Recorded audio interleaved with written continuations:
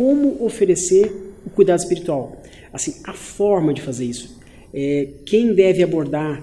Será que tem que ser o médico? Será que necessariamente tem que ter o um serviço de capelania, um assistente espiritual? O que eu posso fazer que muda a rotina?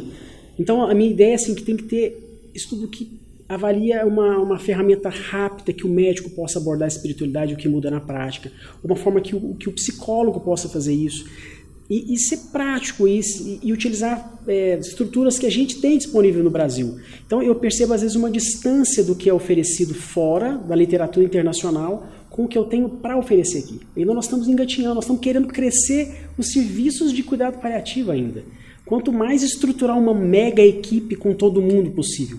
Então, em Barretos a gente tem uma estrutura muito grande, tem uma equipe, tem dentista que é raro, tem musicoterapeuta, mas eu sei que é uma realidade. É, o Hospital de Câncer de Barretos é quase que uma ilha no SUS.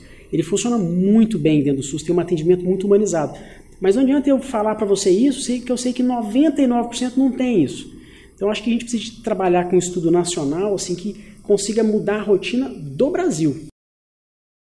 Eu não consigo que meus pacientes que precisam todos passem com um assistente humanitário espiritual. Não, uma pequena parcela. Eu tenho 4 mil pacientes por dia, imagina. Espiritualidade e religiosidade é um assunto tão relevante que eu precisaria de ter 100 vezes mais isso. Então, assim, claro que tem que ter um rastreamento bem feito, eu tenho que dedicar aquelas pessoas que mais precisam do atendimento para serem atendidas, mas mesmo assim, eu acho que tinha que ampliar o treinamento para o médico, para o psicólogo, para os outros membros da equipe fazer um cuidado mais simples, né? E, e inserir isso na consulta médica de rotina, né?